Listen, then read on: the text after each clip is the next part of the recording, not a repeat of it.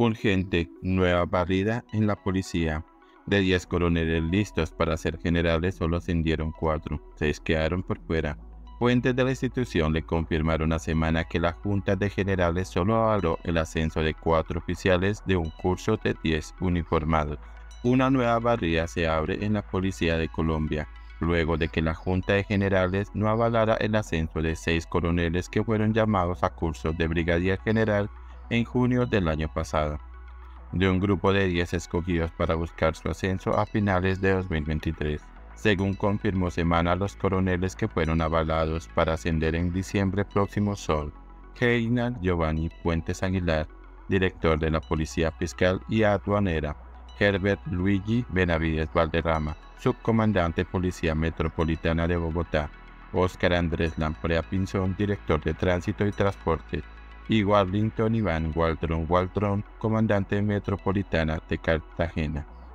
Por su parte, los oficiales que realizaron el curso y que no accederán al grado de brigadier general son los coroneles Didier Alberto Estrada Álvarez, Alba Patricia Lanchero Silva, Jimmy Javier Bedoya Ramírez, José Rafael Miranda Rojas, Livio Germán Castillo Villarreal, Edgar Cárdenas Vesga, los oficiales que fueron escogidos en un grupo de 40 uniformados el año pasado para realizar el curso de general brigadier se suman a los tres generales que hacían parte de la cúpula de la Policía Nacional y que fueron llamados a calificar servicios hace una semana. Se trata del general Tito Jessic Castellanos, director general, el general Carlos Fernando Triana, inspector general, y el general Carlos Humberto Rojas, jefe nacional de servicio de policía